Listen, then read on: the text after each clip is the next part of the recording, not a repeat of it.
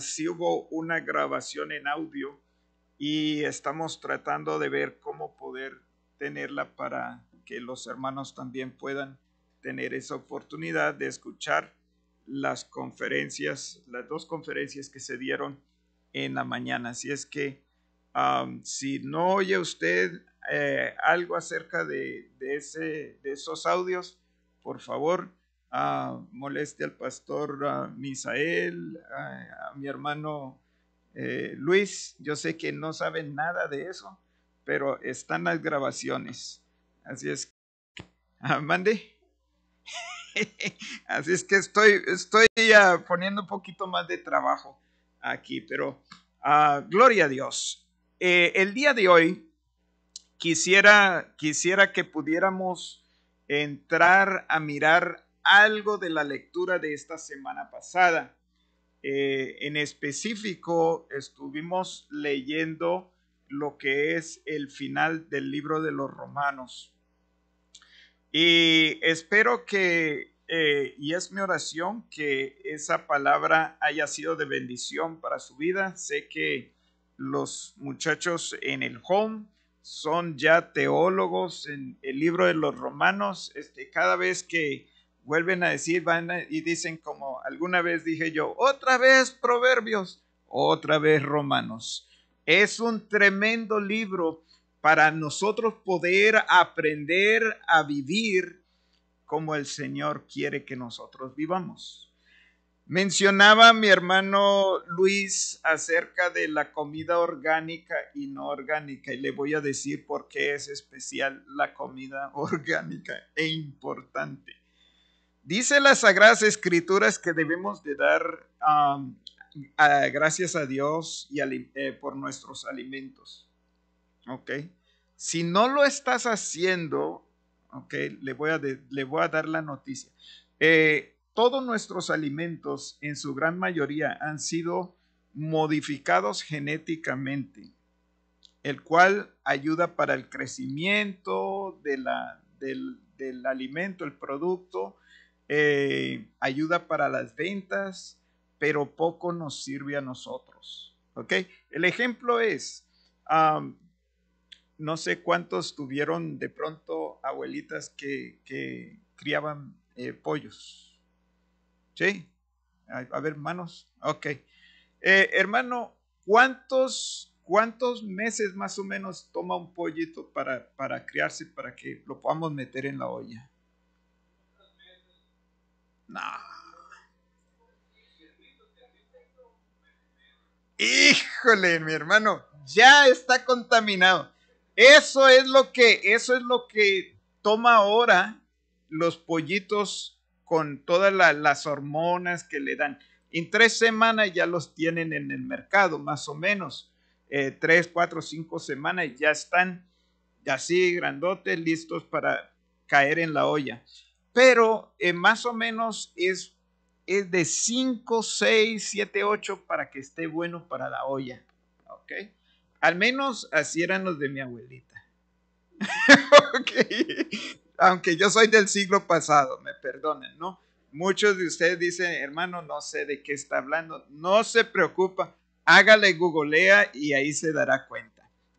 Lo mismo sucede, eh, lo mismo sucede en nuestra vida espiritual. Y lamentablemente, y lo que el pastor Montoya estaba hablando, es que mucho de nuestro alimento espiritual ha sido modificado genéticamente, supuestamente para que crezcas rápidamente, pero eh, esa modificación no es bueno para nuestra salud. Mucha de la razón por la cual tenemos hoy grandes enfermedades, este, tenemos muchas alergias y, demás es por que estamos comiendo comida que nos hace daño. Decía un doctor, decía, comemos y lo que comemos nos mata. Y una vez que morimos, lo que hemos comido no, no nos permite regresar a ser polvo. Eh, de hecho, 5, 6, 7 años y los cuerpos salen casi enteritos. No sé si ya hay esa costumbre de exhumar los cuerpos para dar más espacio en, los cementerios, pero en mi tiempo eso se hacía. A, unos dos, tres años eh, ya podían exhumar eh, un cuerpo y abrir un espacio para otras personas ser enterradas. Eh, bueno, eso también es historia patria y la dejaremos por allí. ¿Qué tiene todo esto que ver con la palabra de Dios? Tiene mucho que ver. ¿Qué tiene que ver con el mismo el libro de los Romanos? Tiene mucho que ver. El libro de los Romanos, usted tuvo la oportunidad de leerlo y lo podemos dividir en dos grandes segmentos para nuestra comprensión.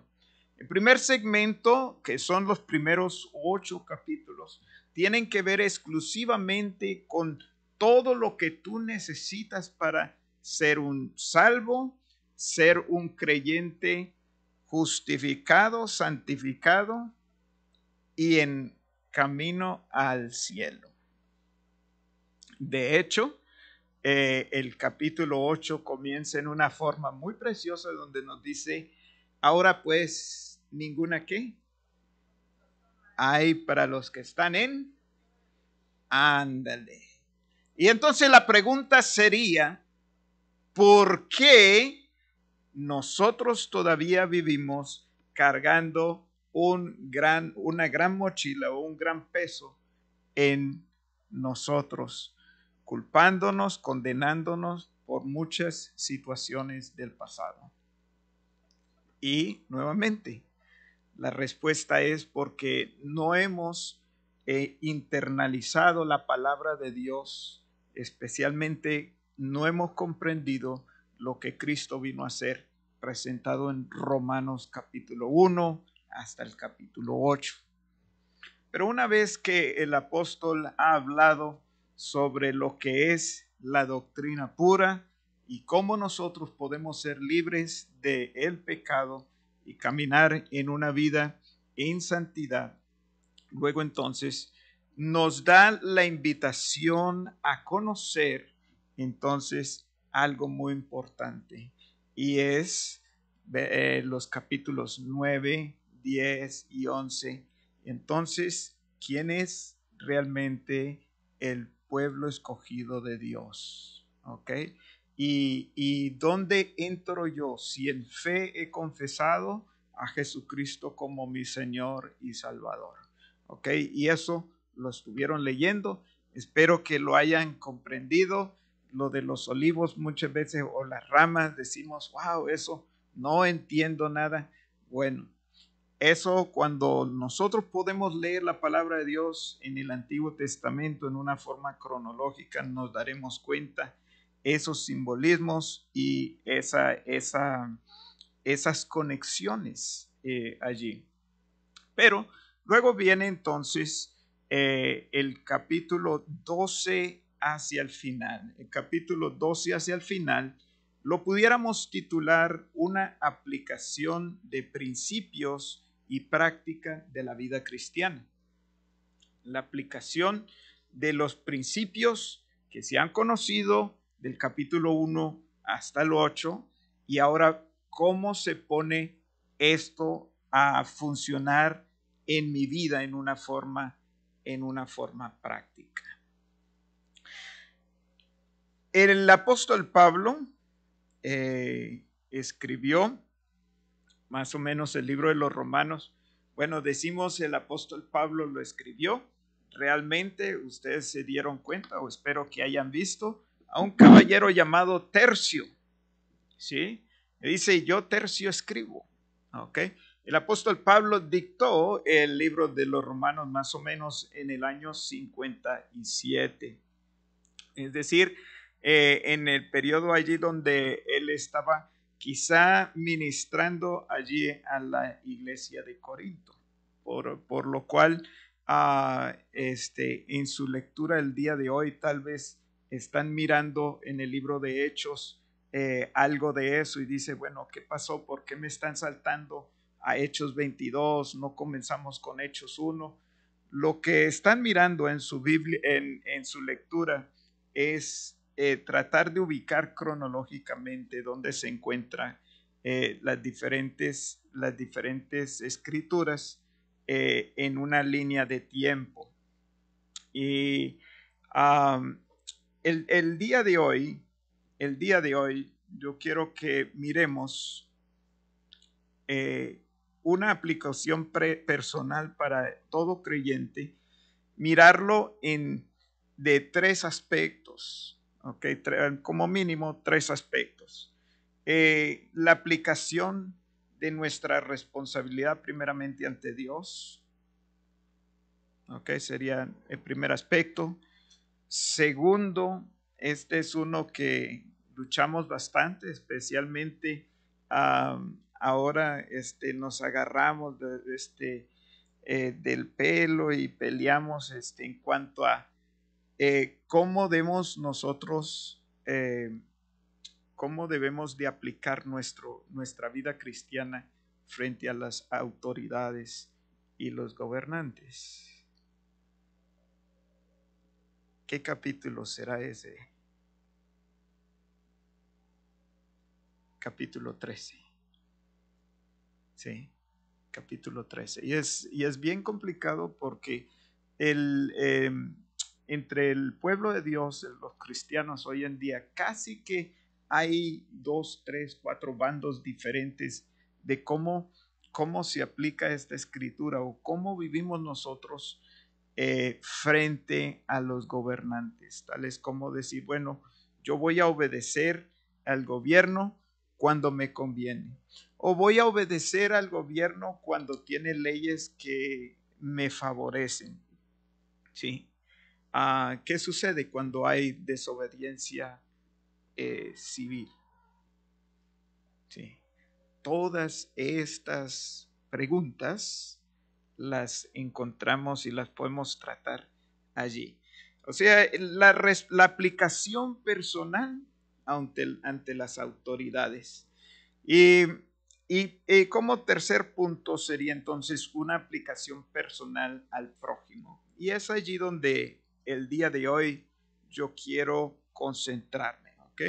Vamos a, vamos a, dejar eh, la aplicación personal de Dios, las autoridades.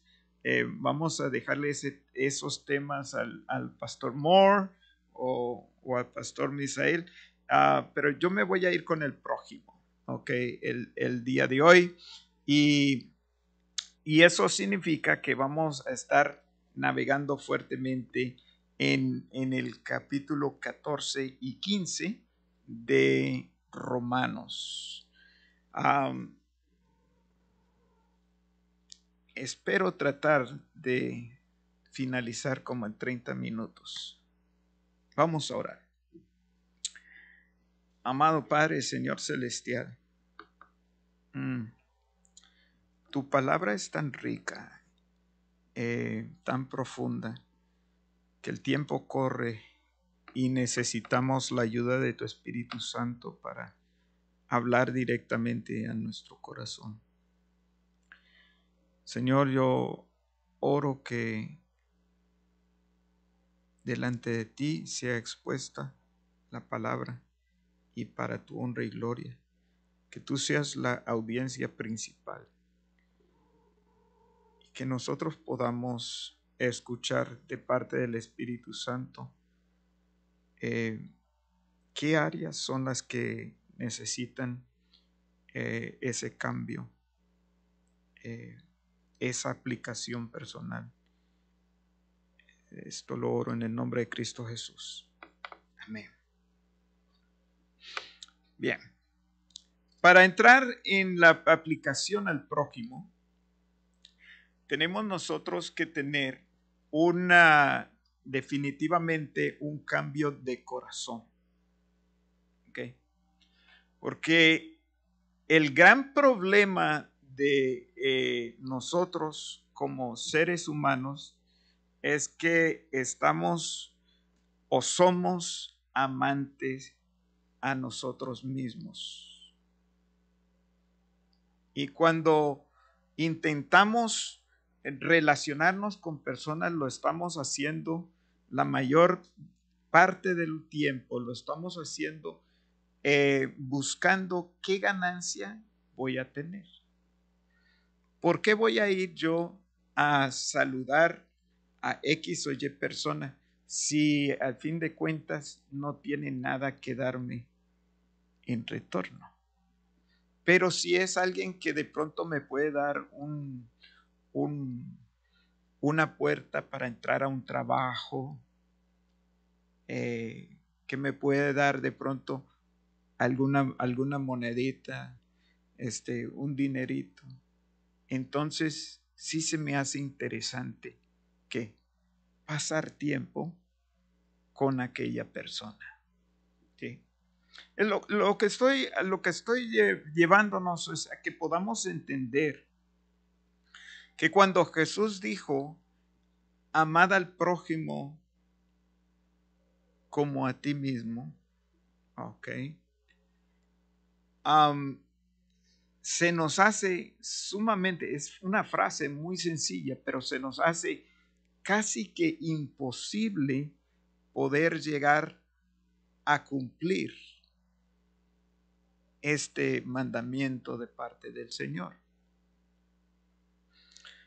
Y es necesario entonces que nosotros podamos reconocer y mirar que si el problema comienza en mi corazón y de allí hacia afuera, entonces necesitamos eh, estar seguros que hemos hecho ese, esa, eh, hemos, hemos eh, trabajado en esa área en una forma como el Señor quiere. Y es exactamente lo que el apóstol Pablo también quería en el capítulo 12, versículo 1 y 2.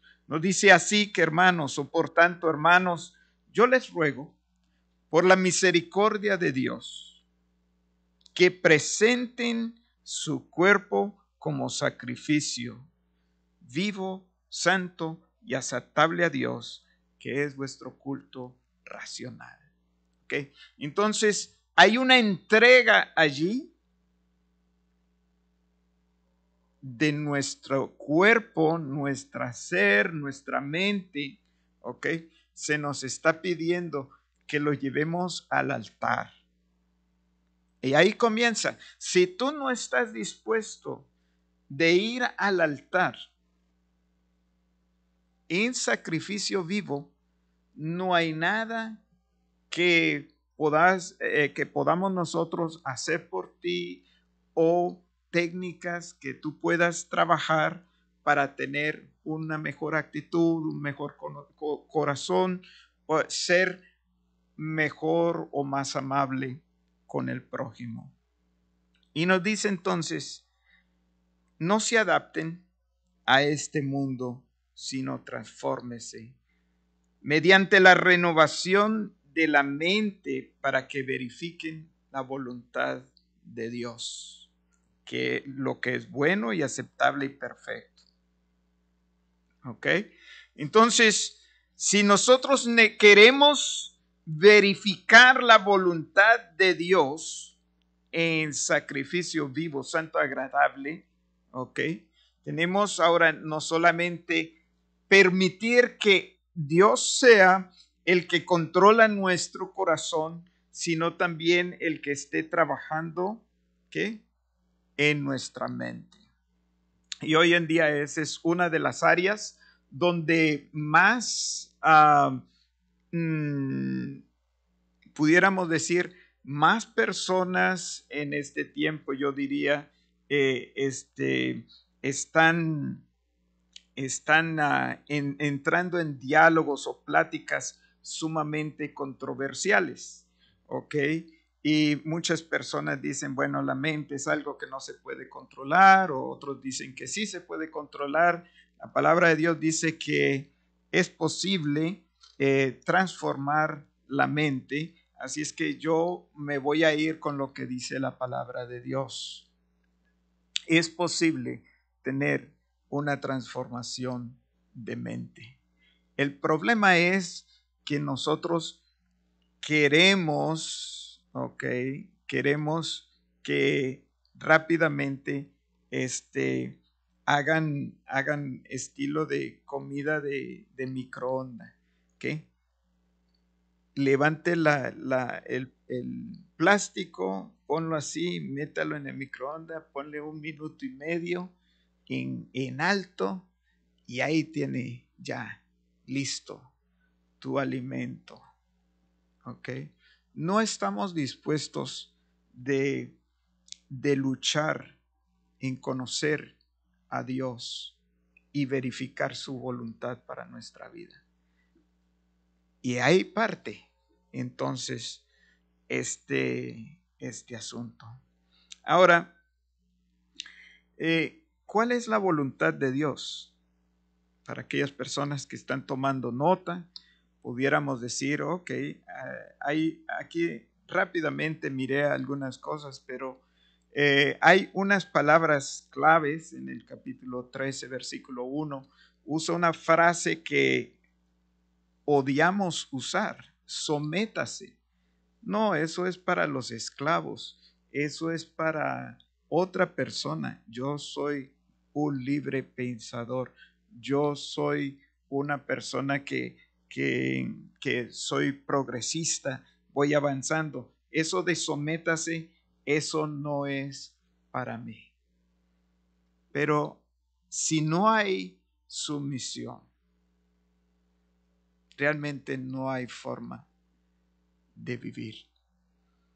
Filipenses 2 nos dice que fue Jesucristo que en su encarnación, Él dice, se sometió a la voluntad del Padre a tomar la responsabilidad de venir a esta tierra y caminar entre nosotros en obediencia, la obediencia hasta muerte de cruz. ¿Sí? Entonces, ese, eh, eh, eh, o sea, el sometimiento es, es algo que para nosotros este, nos molesta bastante, nos pica la camisa cuando escuchamos sobre esto, pero es, es la realidad. Una persona que no puede entender o someterse a la autoridad de Dios, es una persona que va a sufrir grandemente. ese sometimiento a Dios primeramente va a llevarnos a, a este otro punto interesante en el versículo 8 del capítulo 13 de Romanos. Dice, no deban a nadie nada. Ay, ay, ay. Ok, así me dio aquí. Y la tarjeta, no deban a nadie nada. Ok, sino amarse unos a otros, porque el que, eh, porque el que ama a su prójimo ha cumplido la ley. Si sabe, cuando nosotros empezamos a entrar en una deuda. Ok, Jesús dijo, tú eres, eh, tú eres esclavo a quien a tú le debes. ¿Sí? Entonces, cuando, cuando se dice la sométase a toda, persona, toda persona a las autoridades, a veces luchamos con eso, pero luchamos porque son autoridades y no queremos relacionarnos con ellos, pero estamos dispuestos a qué? A ser esclavos para el Fargo. ¿Sí? Porque hay que, al Macy's, hay que llevar qué? Hay que llevar el, crédito, hay, el, este, eh, hay que llevarlo mensualmente. ¿Ok? Y ahí sí, ya se, no se nos hace problema, ¿no? Sudamos, luchamos, trabajamos, pero damos, damos el, el, el pago, ¿no es así? Aquí la palabra de Dios nos invita a que el amor sea lo único que nosotros debamos, o sea, que seamos esclavos al amor. Wow. Esclavos al amor. El amor, dice el versículo 10, no hace mal al prójimo. Y hagan todo esto, dice, versículo 11, conociendo el tiempo que ya es hora de despertarse del sueño, porque la salvación está más cerca de que de nosotros que cuando creíamos. La noche está muy avanzada y el día está cerca. ¿Sabe? La razón a la que se nos invita a que nosotros podamos empezar a entrar en, en, esta, en este estilo de vida en el cual estamos practicando esta, este estilo de vida cristiana es precisamente porque porque el tiempo del Señor es su venida es pronta, es, su venida es pronta. Estaba escuchando esta mañana, eh, estaba escuchando un ejemplo que dieron allí en Jungla Samántica acerca de, de la importancia de uno, uno estar listo, estar en espera, estar alerta, ser sobrio. Eh, y me pareció sumamente interesante. También estaba eh, eh, meditando y predicando también en esta mañana sobre la venida del Señor y dice, y su venida es como un ladrón. Y es interesante ese concepto. Y es bueno por lo que, que Dios nos ha dado esa advertencia. Le voy a decir por qué.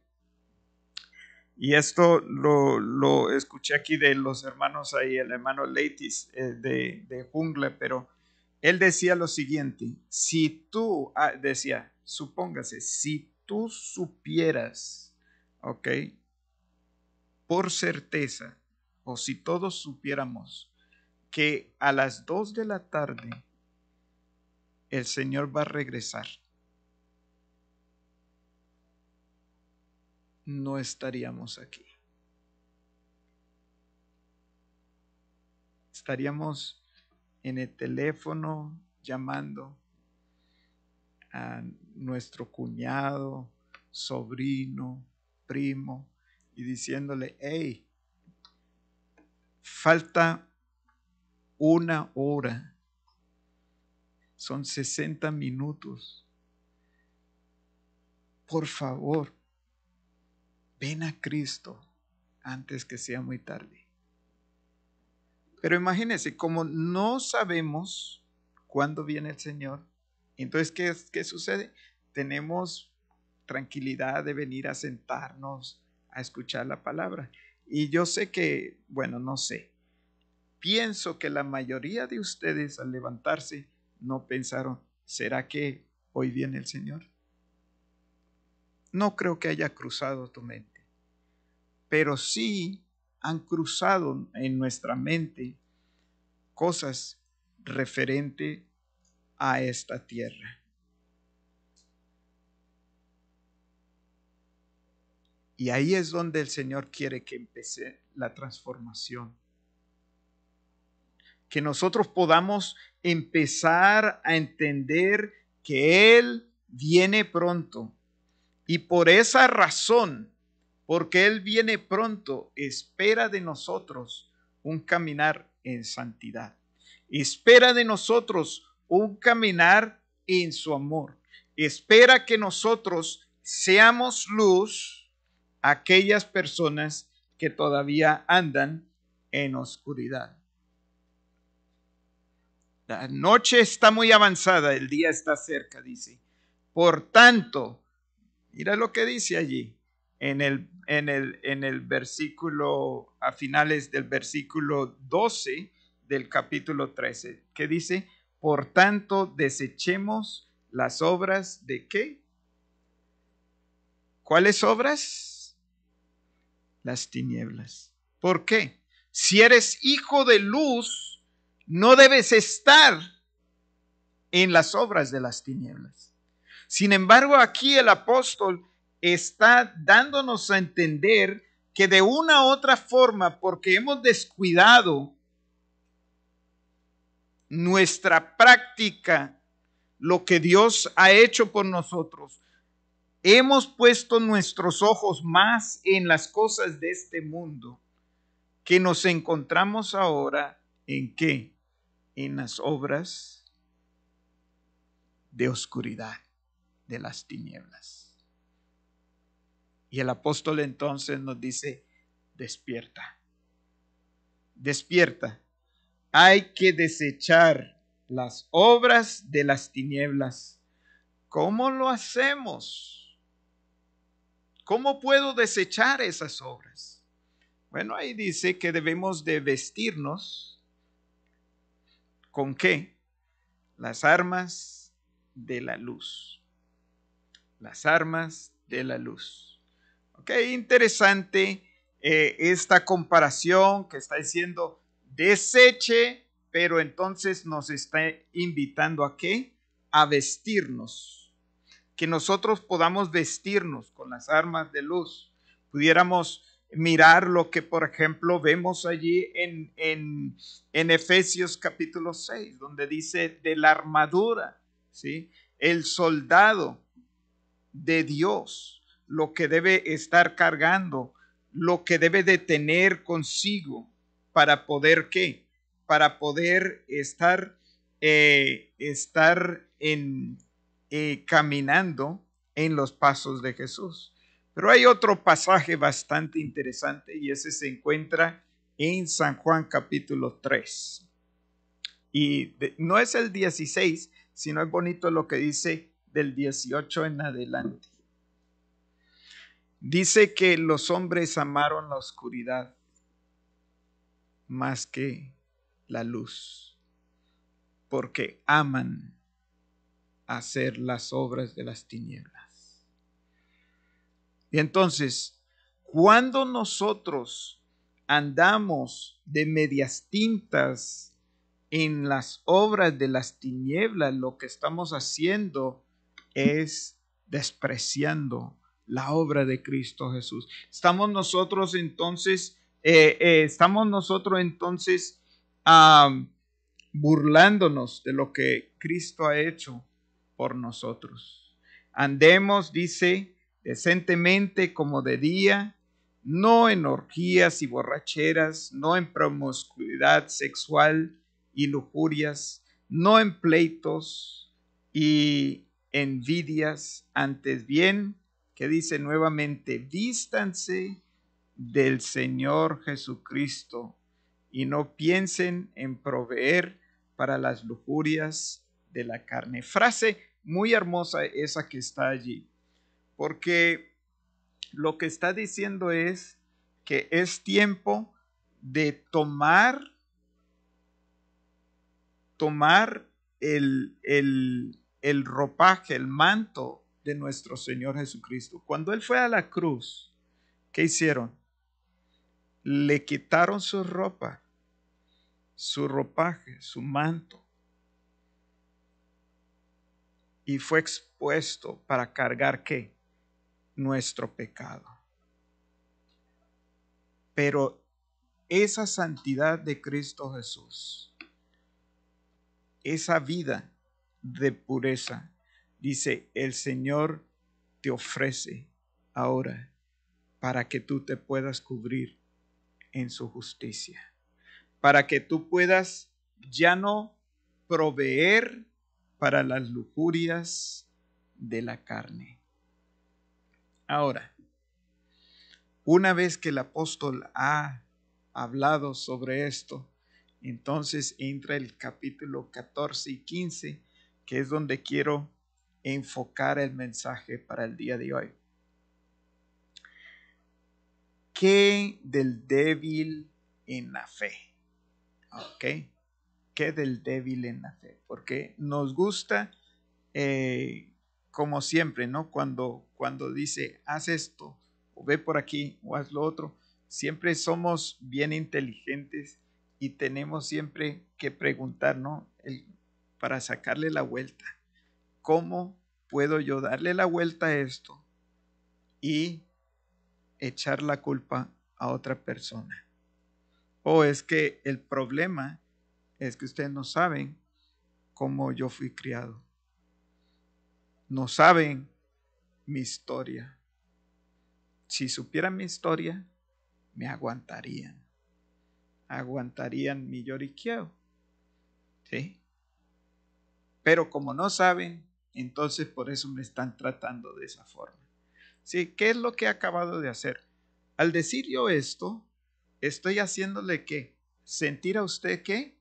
Culpabilidad. ¿Sí? Culpabilidad. Y es exactamente lo que Satanás quiere para nosotros. Quiere que estemos siempre en, esa, en, esa, en ese eh, marco de mentalidad, de culpabilidad, de condenación los unos para con los otros. ¿Por qué? Porque si él logra hacer eso, ¿qué? Ha hecho lo que hace siempre desde el jardín. Adán, ¿qué hiciste? Eva, ¿qué hiciste? Serpiente, ¿qué hiciste? No pudo la serpiente, no había otro, no había otro ser para poder decir, no, no, no, pues, ah, pero, pero sí ve eso del dedo acusador y de la culpabilidad. Y somos expertos en, en este proceso. Somos expertos en hacer sentir personas culpables o que nos sientan lástima. Entonces, el apóstol empieza a hablar acerca de lo que es juzgar o lo que es nosotros tratar con aquella persona que es débil de la fe. yo quiero leer todo este segmento y luego entonces hacer algunas observaciones. Capítulo 14, eh, comenzando en el versículo 1. Y nuevamente estoy leyendo de la nueva versión ah, de las Américas. En tu pantalla tienen Reina Valera. Eh, poco diferente, pero tiene el mismo, el mismo sentido. Acepten, dice, al que es débil en la fe, pero no para juzgar sus opiniones uno tiene fe en que puede comer de todo, pero el que es débil solo come legumbres. El que come eh, de todo, no desprecie al que no come sino legumbres. El que no come de todo, que no juzgue al que come de todo. Porque Dios lo ha aceptado. ¿Quién eres tú para juzgar al criado de otro? Para su propio amo, está en pie o cae. En pie se mantendrá, porque poderoso es el Señor para sostenerlo en pie. Uno juzga que un día es superior a otro, otro juzga iguales todos los días cada cual esté plenamente convencido según su propio sentido. El que guarda cierto día para el Señor lo guarda. El que come para el Señor come, pues da gracias a Dios. Y el que no come para el Señor se abstiene y da gracias a Dios. Entonces voy a detenerme aquí antes de seguir. Pero lo que el apóstol está trabajando aquí e, era un punto sumamente importante, especialmente en la cultura de la iglesia primitiva. Tenemos, o sea, una iglesia que nace eh, de una comunidad judía donde habían más de 600, eh, más de 600 reglamentos en cuanto a santidad, pureza, limpieza eh, alimentos, cómo se debe de, cocinar los alimentos, cómo mezclar las comidas o no mezclarlas. Hasta el día de hoy se practica, por ejemplo, lo que es este, la cocina kosher. Ah, es prácticamente sigue las reglas de los judíos en cuanto lo que Dios les dijo en el monte de Sinaí que deberían de seguir. Entonces tenemos esta gran comunidad de personas que tienen esta cultura, vienen con todo este, este conocimiento, han seguido la ley de Moisés toda su vida, conocen a Cristo Jesús y ahora está el Evangelio expandiendo en una cultura que llamaríamos paganos, paganos, o sea, que no tienen la ley de Moisés, no han tenido como, como parte de, de su ser, de su sociedad, no tienen esa rica historia de lo que Dios ha hecho cuando llama a su pueblo a santidad, pero se les está enseñando que si ellos tienen fe en Cristo Jesús, ellos pueden ser libres de sus pecados y pueden ser eh, tomados también como parte del cuerpo de Cristo. Y entonces el gran conflicto que tenemos aquí registrado en esto aquí de los alimentos o como menciona de los días, básicamente estaba hablando acerca de eso.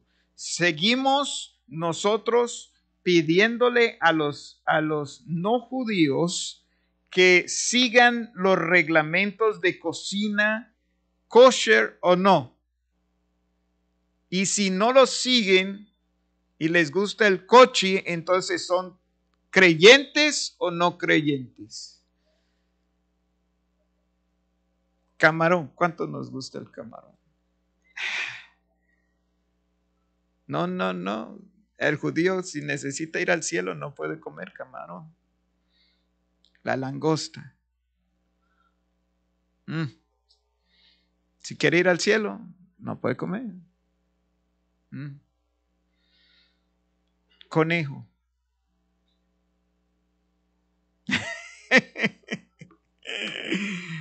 Mira, si ve cómo se vuelve esto de complicado si solamente empezamos nosotros a enfocarnos en estas cosas y quitamos nuestros ojos de Cristo.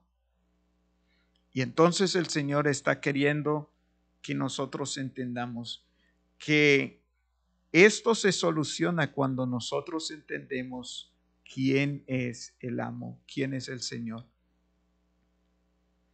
Y por eso dice, los juicios no nos corresponde a nosotros juzgar de que si éste come o no come, ¿ok? Corresponde al Señor. Ese es un hijo de Dios. Entonces es el Señor quien va a traer claridad.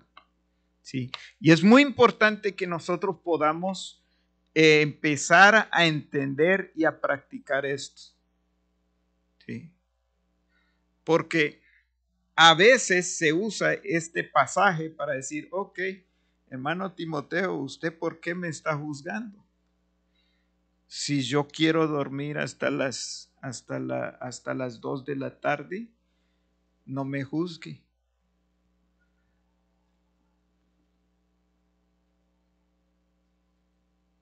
¿Ah? Oh, no puedo juzgar, perdón. ¿eh? Bueno, ¿qué nos dice la palabra de Dios acerca del perezoso? ¿Ok? Entonces, tenemos que entender el contexto de la escritura y que hacia dónde nos está llevando esto. O sea, esto nos está hablando acerca de, de cosas eh, que de pronto nosotros traemos como, como cultura, como sociedad y, y son hábitos o situaciones en la que, en la que pueda o no ser perjudicial eh, para, para el, promover a Cristo Jesús.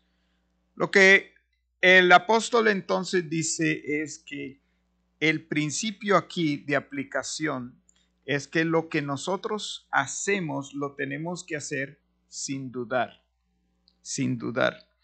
Y no voy a dar el ejemplo que generalmente doy en mis clases de, de, discipulado profundo, pero básicamente, si tú, no puedes, ok, darle gracias a Dios por lo que estás haciendo, o el, o el acto, o la comida, o lo que estás haciendo, si no puedes darle gracias a Dios de corazón, con sin dudar y de corazón, entonces eso es pecado y debes de dejarlo. ¿Sí? Pero si puedes de corazón darle gracias a Dios, es lo que dice aquí.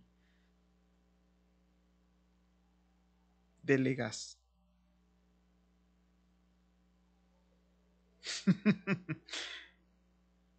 La clave es que un corazón que ha dicho, Señor, tú eres mi Dios, ¿ok?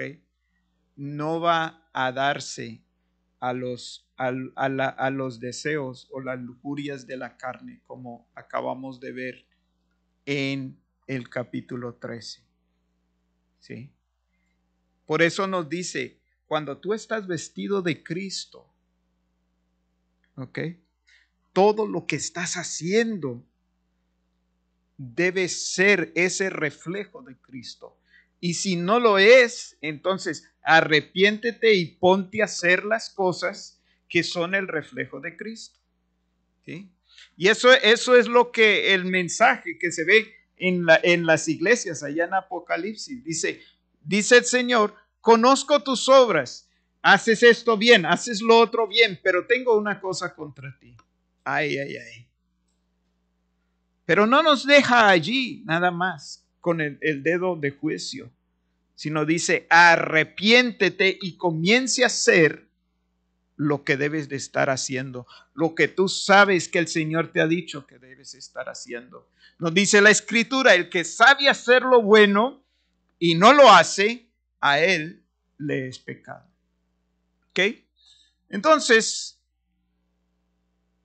el aspecto de los días aquí también era, en específico, si se guardaba el día sábado o si se guardaba la fiesta de los tabernáculos o la fiesta de la Pascua o las fiestas, eh, las otras fiestas eh, que tenían los judíos.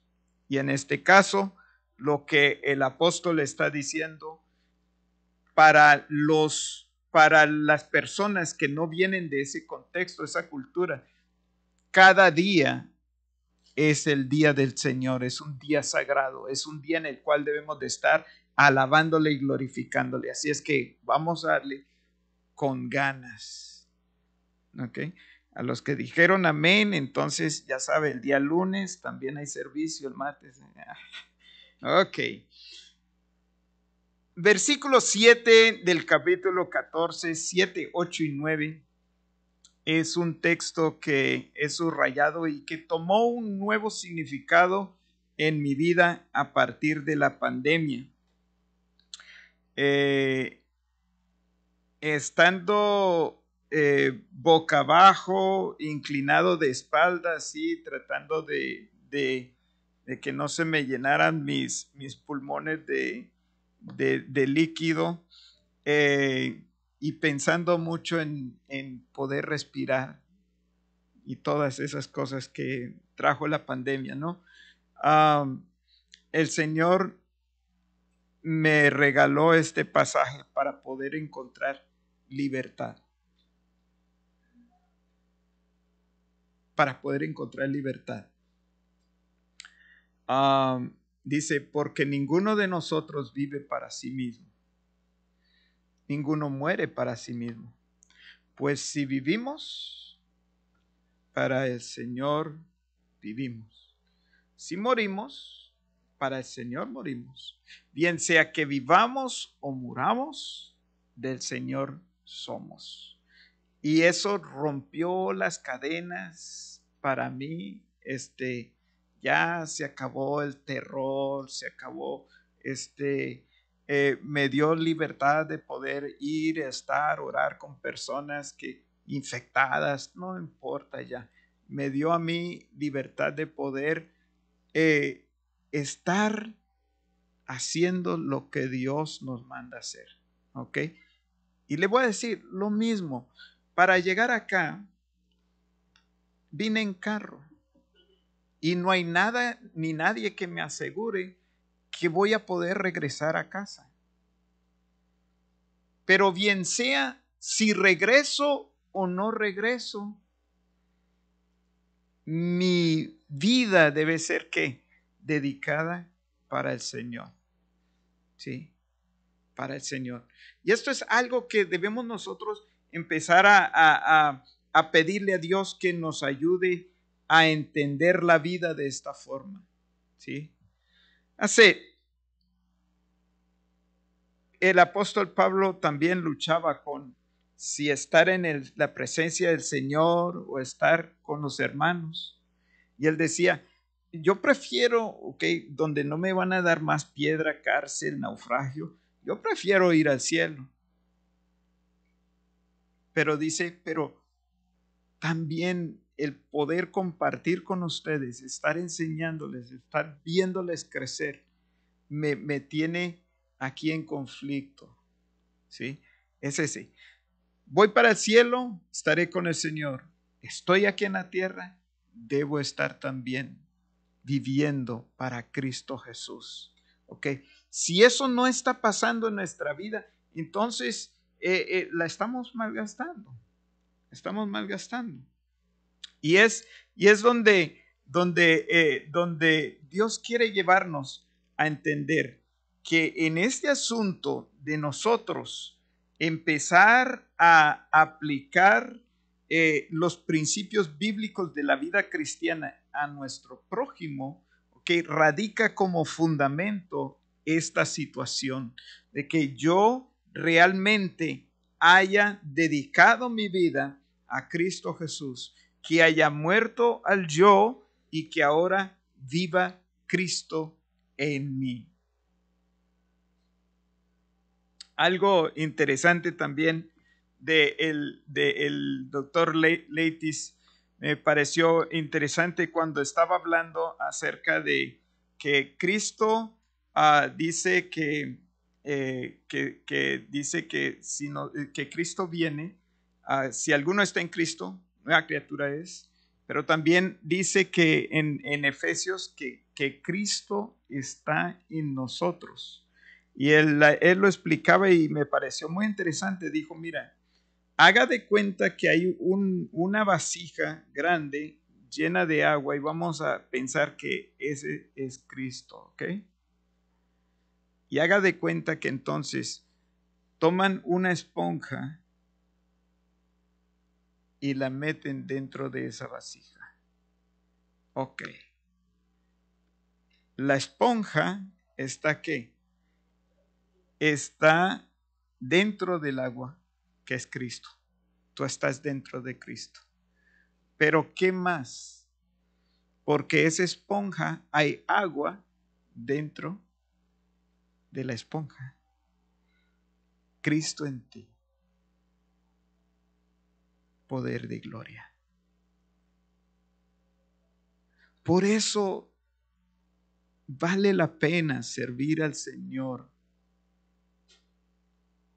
de poder experimentar esa belleza, de, permitir que si la gente quiere tomar tu vida y exprimirla, que te escurran. ¿Por qué? Va a salir Cristo.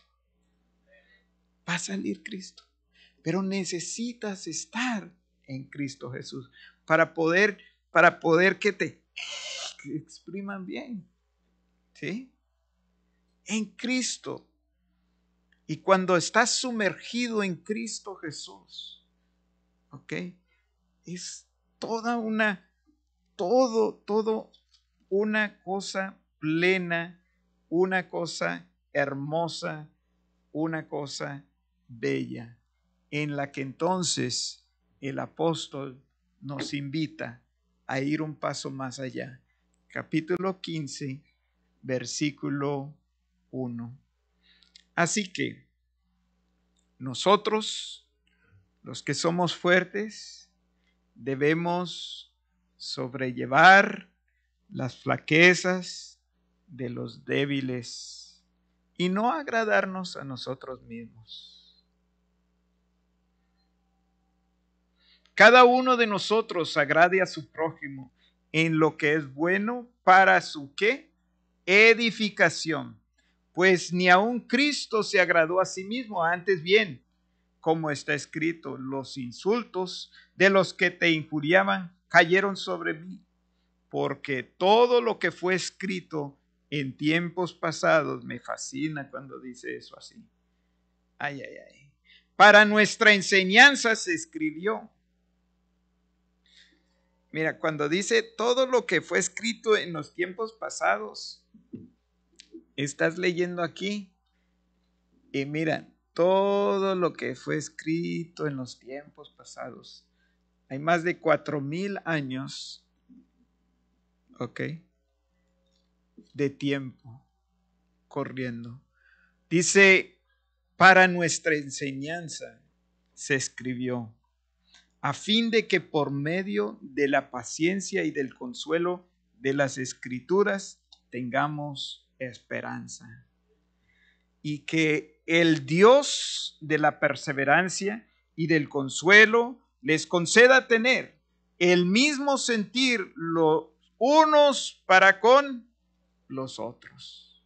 Si aquí se resuelve ese problema de tensión que tenemos como, como hijos de Dios, como cuerpo de Cristo, como iglesia. Muchas veces nosotros miramos a la iglesia y decimos, ¿sabe qué? Yo no, yo no quiero ir allí, qué pereza, porque todo lo que hacen es juzgar. Fuera de eso me van a preguntar si leí, eh, si leí la Biblia, no la leí, entonces no quiero ni siquiera verme con el hermano Timoteo. Qué fastidioso ese hombre. ¿Mm? ¿Y qué sucede? Empezamos a alejarnos y se nos da una llamadita, una visitadita. Eh, hermano Timoteo, ¿dónde has estado? No, no, no, yo aquí, mire, pegado del Señor.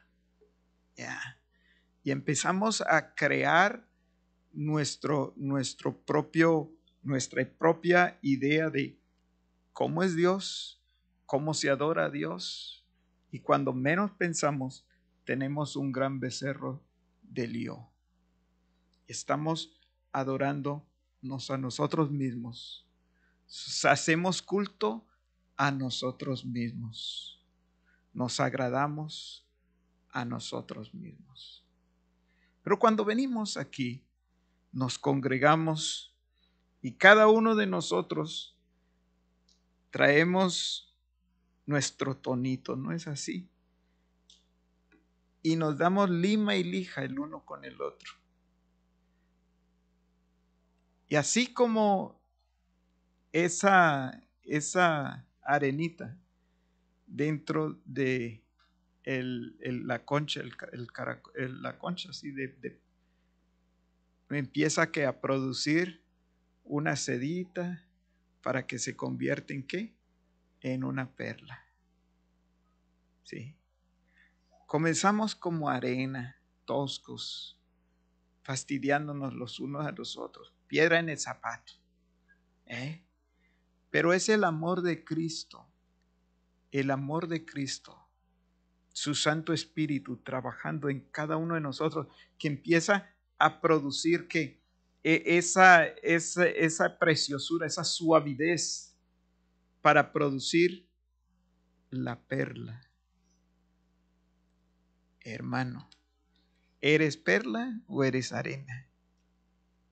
Si eres arena, te invito a que sigas viniendo porque serás perla. ¿Sí? Es aquí es aquí, los unos con los otros. Y es lo que, lo que el apóstol está, está invitándonos a que nosotros podamos tener eh, ese, ese, esa, esa cultura de entender quiénes somos unos para con otros en Cristo Jesús. Ahora, eso va a muchas veces a, a llevarnos a situaciones que de pronto nos sintamos incómodos. Y es lo que, con lo que finaliza el, el, el apóstol Pablo allí en, en Corintios 15.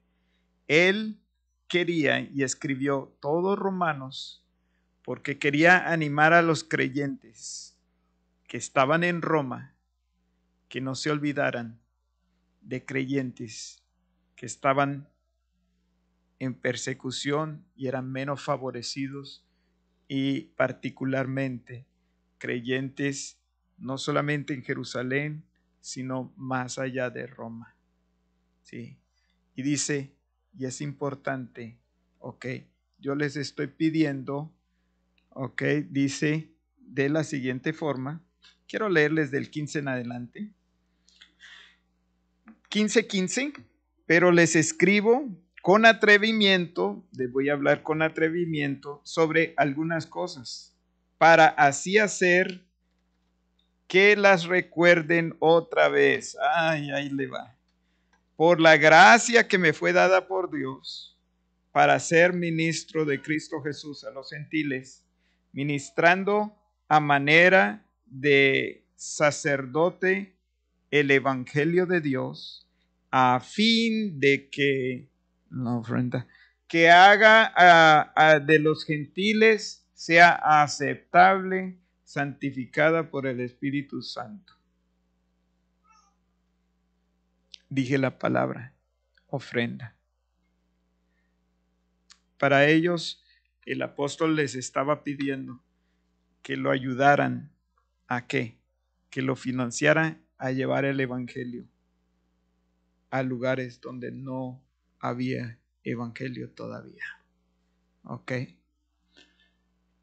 En este día también, como congregación, vamos a tener una oportunidad de poder, ok, ministrar de esa forma también a uno de los nuestros de aquí de la iglesia. Así es que yo quiero pedirles que si no habían planeado esto de esta forma, que usted piense vaya a su casa y diga, ¿sabe qué? Yo voy a regresar con una ofrenda. ¿Ok? Que no sea nada más los 50 centavos o el dólar que generalmente dejamos como un recordatorio que el, el, el plato pasó por aquí, sino que sea realmente algo para qué? Para los santos en medio nuestro.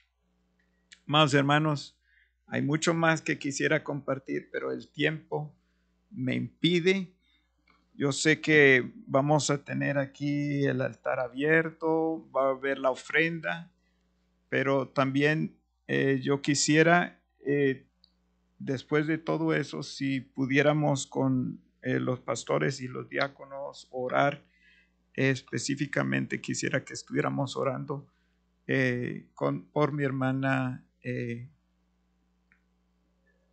Yolanda, eh,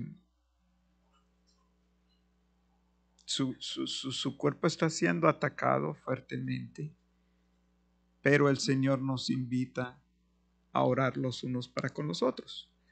Entonces, con eso cedo el tiempo.